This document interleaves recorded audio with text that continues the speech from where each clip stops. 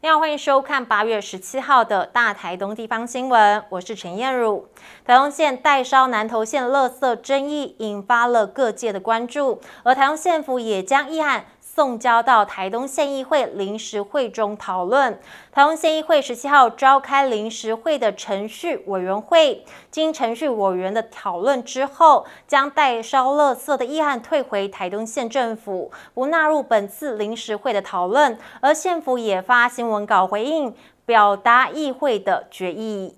受到台东乡亲关注的代烧南投县垃圾案，台东县政府将议案提送到台东县议会临时会。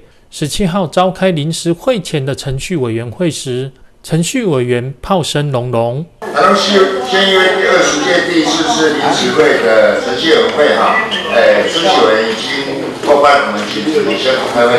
南投透过环保署，然后来。提出公文哦，请求我们台东县的这个部分的协助。那按照指示，其实我们也必须要啊，经过那个提议会的同意才可以，是不是进到大会去做讨论？那在县府跟环保局这边，绝对都会尊重议会这边的决议来做办理。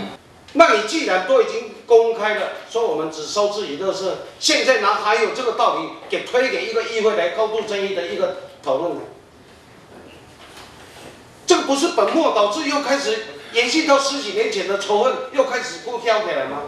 赞成跟反对的不是又利益上的一个纠葛在被纠缠吗？本席先请各位同仁注意把这个案件直接第二号环保类第二号案全直接退回。经过程序委员充分讨论之后，决议将代烧垃圾的议案退回台东县政府，不纳入本次的临时会中讨论。